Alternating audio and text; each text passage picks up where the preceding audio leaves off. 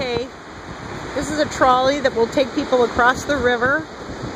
And the river goes, makes an elbow turn right here. And there's an eddy there that's 125 feet deep.